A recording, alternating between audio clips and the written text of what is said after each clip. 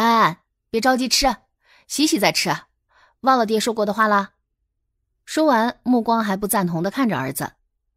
安安心虚的看着娘，得到好东西太高兴了，他真的忘了。姑父，狗蛋也要。看着安安哥哥手里的果子，向来不知道客气为何物的狗蛋儿，立马扒着古兰的腿开要了。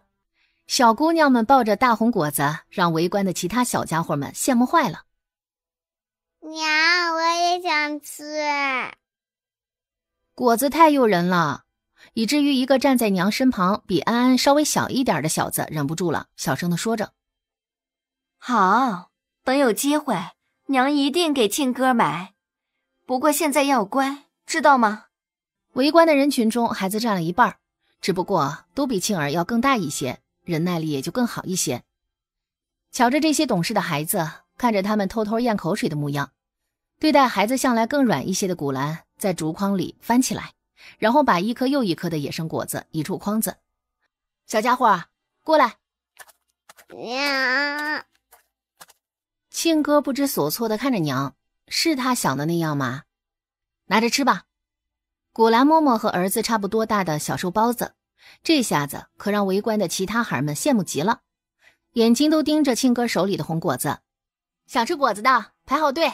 都有，这声音简直像天籁。陷入惊喜中的孩子们瞬间炸了，接着忙不迭的窜了出来，一个个乖觉的排好队伍，一个个向前排队领果子，然后又个个欢喜的重新回到家人的身旁。孩子们，谢谢古叔叔了吗？闻言，孩子们也有些不好意思了，尤其是大点的，光想着果子了，竟忘了说谢谢，于是纷纷跑到古兰跟前道谢。婶子，村长在吗？啊，在帐篷里。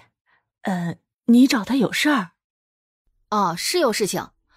就这些野猪和傻狍子，呃，这些我留一点儿，其他的都麻烦村长分给村里人吧。给村里人？古兰，你说真的？是真的。可这些不是你辛苦打回来的吗？而且弄回来也是费足了劲儿的。谢谢婶子关心，这不是白分给村里人的，我还是要收钱的。啊，原来是我误会了，这还好。呃，只是价格呢？野猪肉五个铜板一斤，傻狍子肉七个铜板一斤，这个价格是所有人都能消耗起的。会不会太便宜了？你冒这么大危险打来的，其他人我自然是不愿的。就像婶子说的。我确实冒了很大风险，不过咱们同甘共苦这么长时间了，是自己人就没必要计算的这么清楚了。这次上山的运气比较好，打了这么多的猎物，与其烟子让它风干放着，倒不如留着给大家补补身子。大家吃得好，也就更有力气，路也能早点通，咱们也能早点离开这儿，也算是尽我的一份力了。